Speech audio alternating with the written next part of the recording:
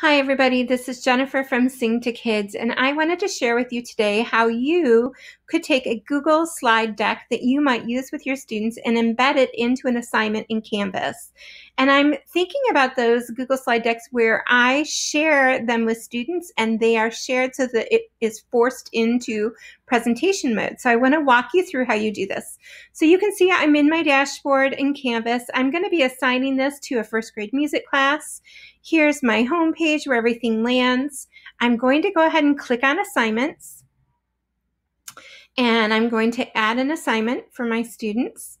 And I'm going to go ahead and name it Bell Horses because that's the name of the song and the, the deck that I want students to see. And then I'm just going to leave this blank for a minute because now I have to pop over to my Google Drive. And here is the deck that I want to be able to use with students. And uh, there are a few slides that aren't necessary for my students to see because those are more teacher directed. And um, so now I have what I want for my students to uh, use in their assignment. So how do I get this into Canvas? I'm going to go up to File, and I'm going to click on Publish to the Web. I know that sounds kind of weird, but just stay with me for a second. Click on Embed, and when you do, you're going to see that uh, you can uh, select your slide size, but you're going to get code down here. So go ahead and click on that code and copy it. Okay. Now we're going to go back to Canvas and you might think that you would embed it right here, but I want you to go over here to where it says HTML editor. And when you do,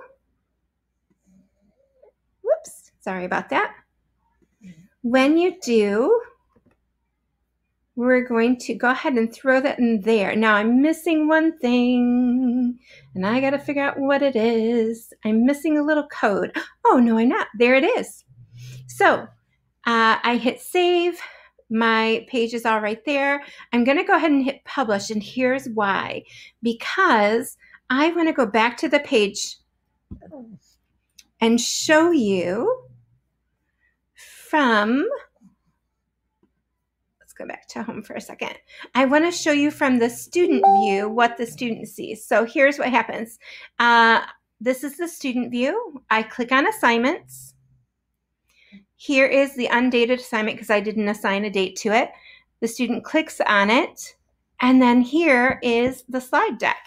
And all they do have to do is click. And each one of these things uh, is visible to the students right from your Google Slides. So it acts as a forced presentation mode and um, all they do is click is to go through each one of those slides. So I hope this is helpful for you. Again, it's a very easy process.